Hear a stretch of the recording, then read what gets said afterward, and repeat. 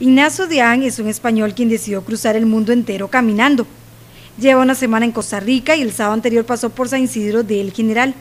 Esta caminata lleva como nombre Vuelta al Mundo a pie, Marcha Mundial por la Naturaleza y el Planeta Tierra. Ignacio recorrió más de 25 países ya. Que ya tenía buenas referencias antes de llegar a Costa Rica en cuanto a medio ambiente, ¿no? en cuanto a la felicidad de la población y pues muy afortunado, entré hace cinco días por el Paso Internacional de Canoas, estoy conociendo gente estupenda que me está abriendo las puertas de su casa para poder dormir o acampar en su jardín.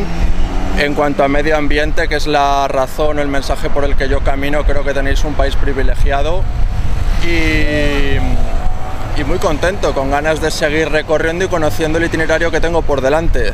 Durante su viaje asegura que observa gran cantidad de animales y en Costa Rica la naturaleza es lo que más destaca. En dos años llevo ya casi cuatro continentes. He recorrido Europa, Asia, Australia y actualmente estoy recorriendo América, que es mi cuarto continente, desde Chile hasta Estados Unidos. Si todo va bien y tal y como hasta ahora, puede que acabe antes, que esté de vuelta a casa antes. Pero bueno, ya sabes que caminando ocurren mil cosas y es muy difícil saber con, con certeza ¿no? el tiempo que me queda.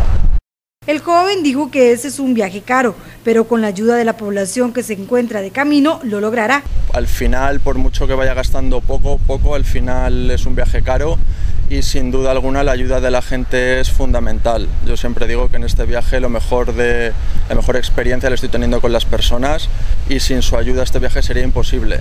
Simplemente una pequeña ayuda con comida, un alojamiento una noche, una ducha, algo de conversación y poquito a poco pues voy consiguiendo solventar el viaje.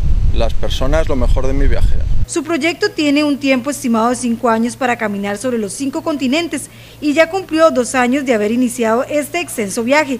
En este momento ha recorrido casi cuatro continentes, Europa, Asia, Austria y está conquistando América, desde Chile a los Estados Unidos.